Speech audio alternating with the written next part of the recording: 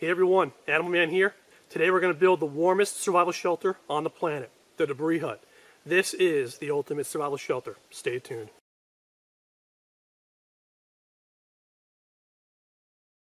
The idea behind the debris hut is you want the simplest, most economical shelter that you can possibly build to save your time, save energy.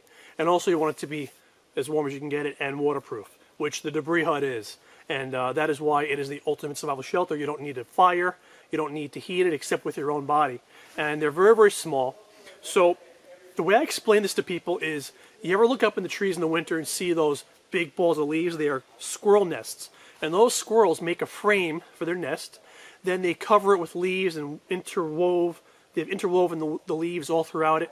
Then the whole inside of that is stuffed with leaves as well. And the inside of that is just big enough for that little sucker to curl up in a ball and heat the thing from the inside.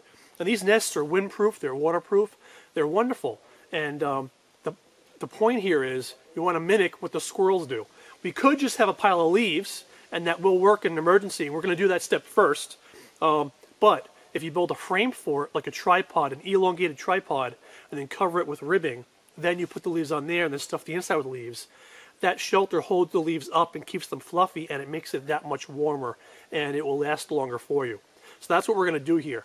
Um, I've listened to and watched many videos of people teaching this and they always make the frame first, show you the frame first. I'm not going to do that because in real life survival, like here, you don't build the frame. You get the leaves or the debris. The debris could be leaves, pine needles, ferns, reeds, cattails, grasses, just about anything that's soft and airy that will create that dead air space to insulate your body. Around here, we're going to find a lot of ferns. There's some oak, but there's a lot of uh, a lot of evergreens around here too, so we're going to get a lot of that in here also, and some grasses. So we're going to collect tons of debris, stack it up next to where our shelter is going to be. The shelter is going to be right where I'm sitting here. We're going to stack it up right nearby, and the reason we do that first is because that way if it's getting dark out, it starts to rain, starts to snow, if you're tired, if you get hurt, and you can't finish your shelter, at least you have the debris to burrow into. And that'll keep you warm and you'll survive the night and you can finish your shelter later on. So that's the reason that most people won't tell you. So we're going to get to it, start collecting the debris. You're not picky. If there's little sticks in it, twigs, other plants, you leave it in there. You just grab it as quickly as you can. We're going for bulk here. And usually when you think you're done, when you think you've got enough, you're not even close. You need like three times that much, easily. It takes a while. If you're smart, you'll use your shirt, jacket, whatever you have to pile this stuff up onto. That way you can save time, get bigger loads to bring back in your pile.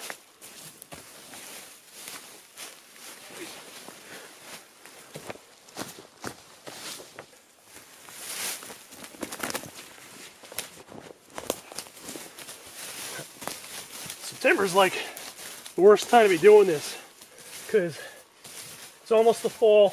These leaves have been sitting here all year just rotting, getting matted down. But we're gonna make it work. We'll figure it all out. So you just go ape crap on it. You just grab everything.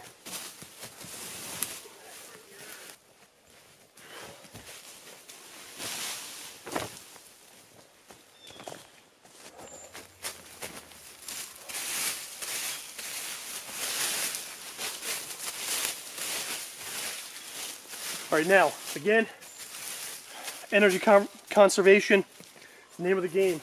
So as we go and make our trips for our debris, we're gonna start collecting small sticks, about anywhere from two to four feet long, anywhere from finger to wrist thick.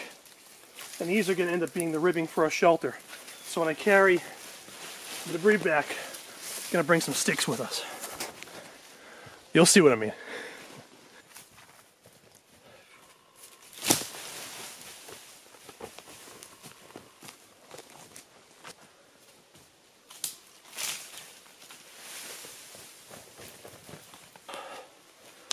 All right, so we've got enough branches and debris, at least to get started with the frame of our shelter now. So What I want to do is I want to get three key pieces. Number one is a ridge pole. The ridge pole is the part that I'm going to lay underneath. That's the length of your body, plus a little extra. So this is customized for each person, depending on your height. And what you want to do basically, you want to measure a branch that's about, I don't know, arm, between arm and wrist thick. And you want to find a branch or a sapling that diameter, so it's nice and strong, not rotted. And you want it to be your height when you extend your arm to your fingertips, plus one foot higher than your fingertips. So that's customized for you. So we're going to find that. And then we're going to find two other smaller ones, same diameter, hopefully that have a fork in the top, where we can break it off like a fork. And uh, those should be about four foot. And those are going to form the three legs of our tripod. And then we can use all these smaller branches from there to create the rest of the frame.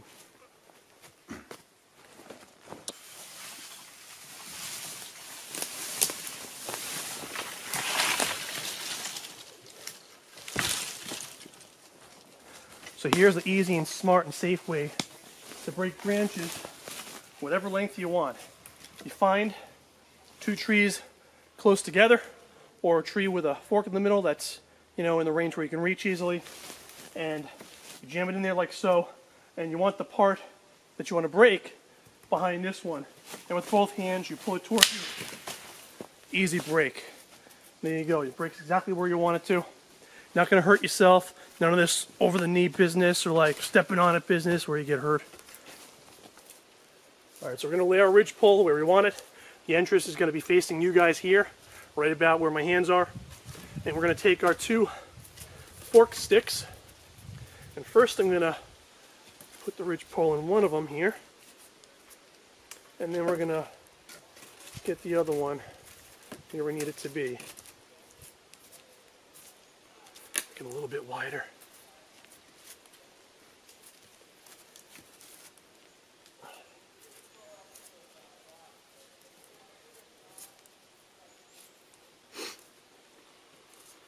Yeah, right there looks good. So, I should be able to lay down fully in here like this. And uh, should be just enough room. It should be just wide enough for your shoulders, about six inches from the bottom here which this is. So this looks good. I'm gonna go with it. Now the next step, we're gonna use all the smaller branches we collected. We're gonna complete ribbing, just the same angle as these large ones. We're gonna them against it all the way down on either side.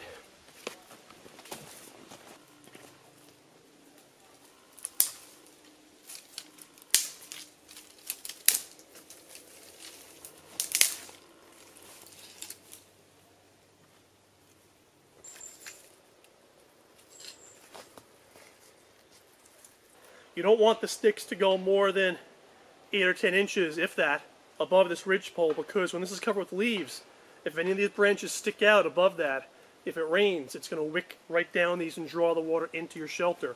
You want the water to run off. So make sure these are all trimmed to the right height to avoid problems later on that'll ruin your night or ruin your trip or make it dangerous even. Alright you guys, so here's our frame complete for the most part.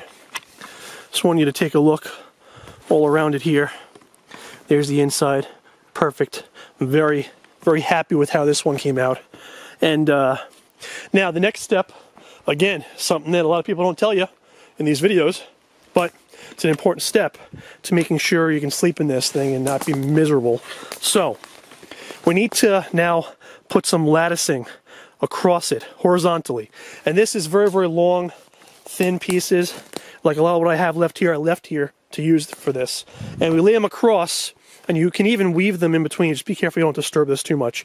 But the point of that is, if we just piled all this debris on the skeleton how it is, obviously a lot of it's going to fall through, right? And over time, more and more will fall through. The inside will get compressed. You'll have less on the outside, so it's going to get colder and colder and colder. So this latticing helps to keep the leaves on top on top so they stay where you want them to. That way this whole thing will be fluffy and airy and supported and they'll stay where yew put them basically. So you can use branches like I have here or There's evergreen boughs everywhere. You can even use green evergreen boughs. Just make sure they're not from a species that's poisonous like you. Um, you don't even want to breathe that in in your shelter. So, you know, things like pine, pine's perfect for this. One more tip for you guys. I want to show you now before I put all the latticing on. I laid one piece across. When I laid these sticks vertically for our frame, I tried to lay them the way they grow. That way, if there's any forks, I can then use them to put the latticing in. So I have it hooked in there, and then I have it hooked in down here on this birch down here too. That's the easiest way to get the lattice to stay where you want it to. So just keep that in mind when you're making your shelter. That's all.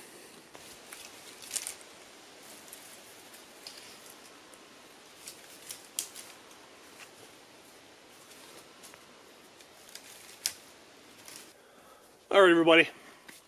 It's getting to be almost the evening time. Been working hard on my camp all day. We're at the point where I've got enough leaves where I want to start getting the shelter together. I'm still going to need more leaves, but I want to start getting this so at least I have some leaves in there. So I'm going to tell you guys something else now that people usually will not tell you in a video like this about debris hut.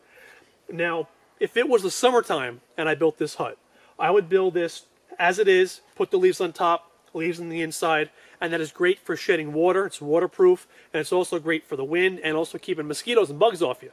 And that's all you need. The thing is, we measured it to our body length, and your head ends up right on the edge here. And if it's very, very cold out, you don't want your head on the edge. You need to have debris around your head because you lose so much body heat through your head. So what you do, because it's supposed to be in the 40s tonight, and uh, it's way too cold to have my head exposed, you build a little extension tunnel. That way you make your hut a little bit longer and uh, you can fit a little bit more debris on there around your head basically. So I've got another two smaller Y sticks and I'm going to shove them in the ground about here. It's okay if they don't stay in on their own because we're going to pile them up with sticks in a minute. There's good. And then one right about, there's my spot? Right in here. Good. Right in there.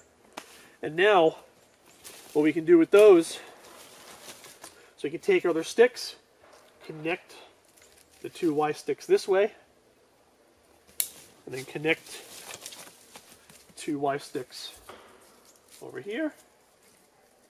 I need a longer one over there. Maybe this will work and then we lay a whole bunch across the top. Put it all together. And now we have an entryway. An extension collar, basically. And we put debris on top of this, too. Just going to lay a whole ton of these on top.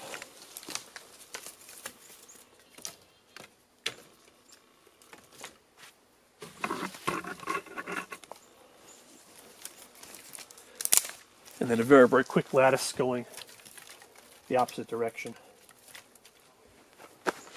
And I, I don't know why people don't show this in their videos more. I, I don't know if uh, it's lack of experience, they don't know how to do this, which might be it, or lack of imagination or ingenuity or uh, learning from your mistakes. I don't know. I don't know.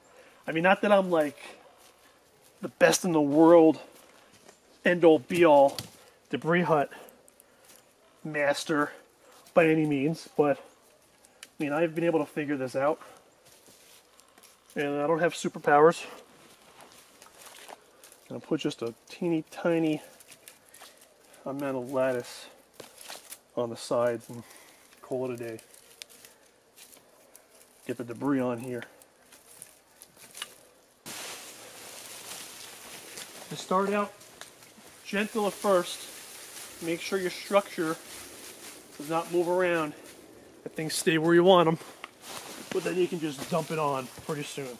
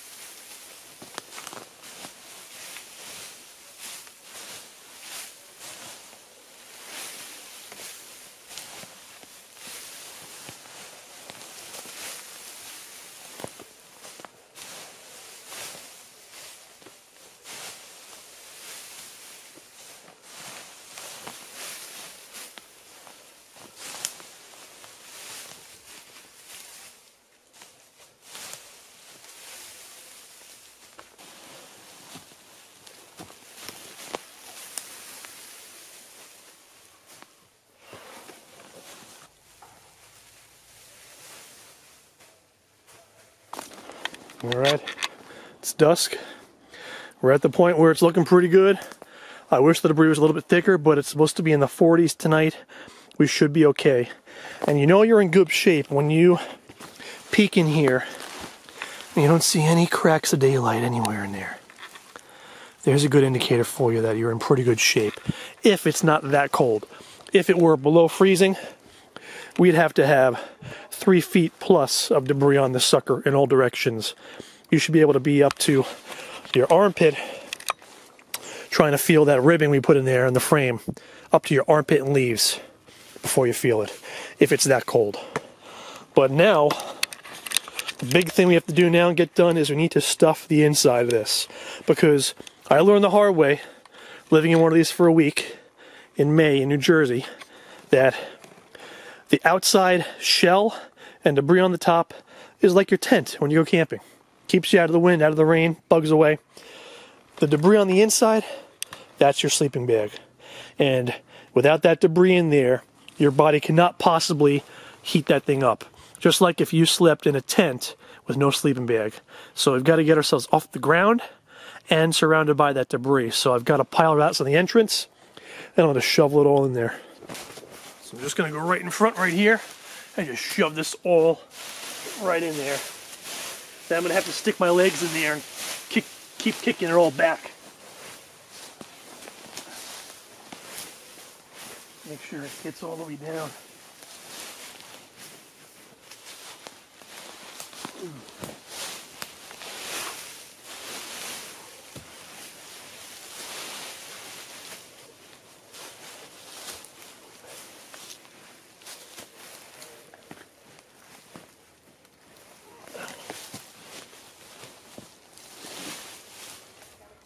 All right, well, could have done better, but I've done much worse too, so I'm very happy with this. We'll call this done for today. So I hope you guys enjoyed this video, and I'll see you next time on Animal Man Survivor. Take it easy.